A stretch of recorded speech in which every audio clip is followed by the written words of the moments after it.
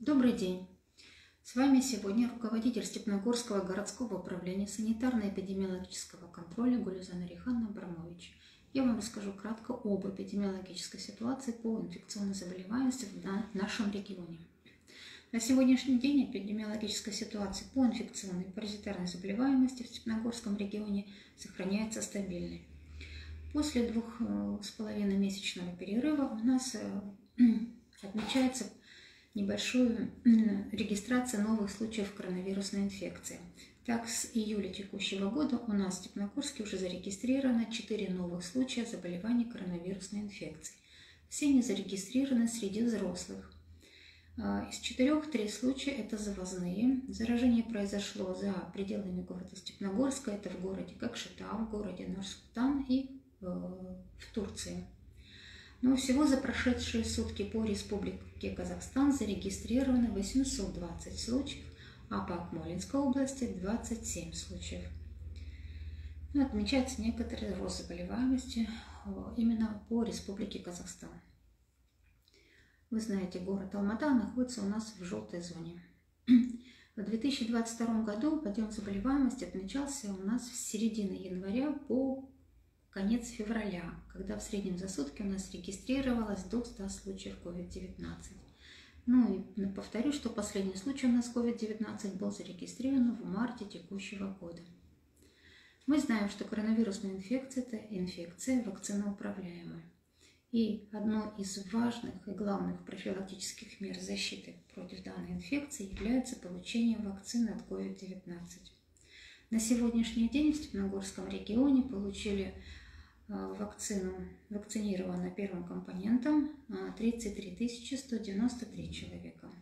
Э, получили оба компонента, два компонента, 31 049 человек. И получили ревакцинацию, то есть через 6 месяцев после окончания полного курса вакцинации 10 775 человек. Ну и в соответствии с постановлением главного государственного санитарного врача Республики Казахстан за номером 25 от 23 3 мая 2022 года э, началась повторная ревакцинация против COVID-19, которая проводится лицам, получившим, получившим первую ревакцинацию с интервалом 6 месяцев после предыдущей профилактической прививки против коронавирусной инфекции. Вакцину можно получить в прививочных кабинетах филиала ТО «Виамедис» ежедневно с 8 утра до 8 вечера. На сегодняшний день имеются следующие вакцины от коронавирусной инфекции. Это Камернати, Казвак и Виросель. На сегодняшний день в Республике Казахстан отмечается некоторый подъем заболеваемости менингококковой инфекции. Всего с начала года зарегистрировано по Республике Казахстан 171 случая серозного менингита. Из них 80% заболевших – это дети в возрасте до 14 лет. Что же, такое, что же это такое менингококковая инфекция? Это острое инфекционное заболевание, проявляющееся разнообразными как по характеру, так и по тяжести клиническими проявлениями. От назофарингита, то, это, то есть воспаления ротоглотки и простого носительства, до генерализованных форм. Это гнойного менингита, то есть воспаление оболочек головного мозга, и менингоэнцефалита, то есть воспаление мозга и оболочек мозга. Возбудителем менингококковой инфекции является Neisseria meningitidis. Она неустойчива во внешней среде и плохо переносит факторы внешнего воздействия. Менингококковая инфекция передается только от человека к человеку, воздушно-капельным путем. Возбудитель размножается на слизистой оболочке носоглотки, спинномозговой жидкости, может быть выделен из крови и пораженной кожи. Источником инфекции является человек. Человек, болеющий менингококковой инфекцией, либо здоровый носитель менингокока. Больной наиболее заразен в, период раз, начала болезни, особенно когда имеется катаральное явление в носоглотке. А здоровые носители без острых воспалительных явлений носоглотки, они менее опасны, но однако число их во много раз превышает число больных, поэтому не исключается – что фактором заражения является в основном здоровые носители. Менингококковая инфекция встречается в любом возрасте, но 70-80% заболевших – это дети в возрасте до 14 лет. И особенно опасна эта инфекция для детей в возрасте до 5 лет. Но грудные дети в первые три месяца имеют естественный иммунитет, получившийся, полученный от матери, и как бы редко подвергаются заражению и риску заболевания менингококковой инфекцией. Восприимчивость к менингококку невысокая. Заражается где-то 10-15% лиц, которые проконтактировали либо с носителем, либо больными менингококковой инфекцией. Влияет на зараженность, заражение на менингококковую инфекцию – такие факторы, как э, длительный контакт с больным либо носителем и скученность помещения, то есть общение большого количества людей в замкнутом пространстве. Прослеживается семейная предрасположенность к менингококковой инфекции. Характерны периодические подъемы заболеваемости от 8 до 30 лет.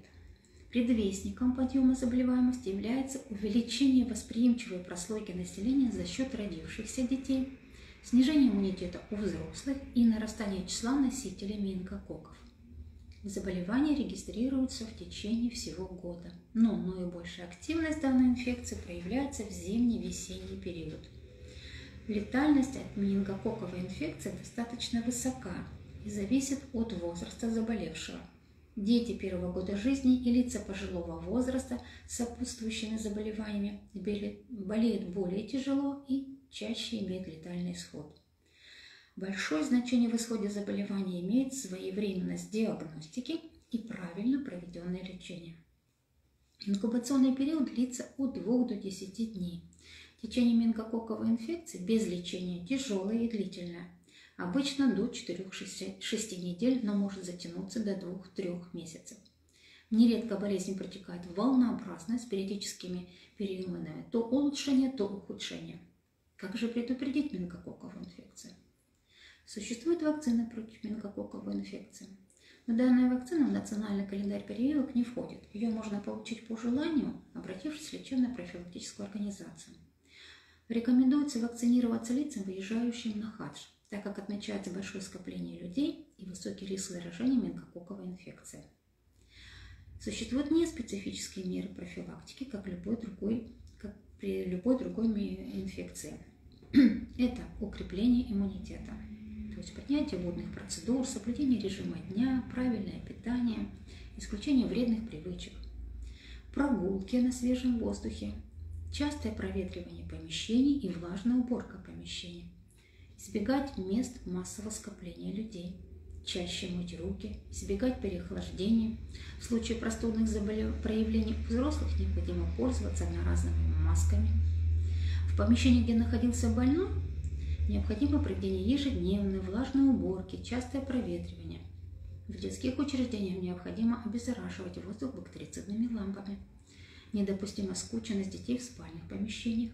Все лица, общавшиеся с больными в семье, коллективе в течение 10 дней должны подвергаться медицинскому наблюдению и обследованию на носительство менингококка. Помните, менингит – это болезнь опасная, с тяжелыми осложнениями. Соблюдая несложные, неспецифические меры профилактики, можно предупредить заражение данной инфекцией. Благодарю за внимание.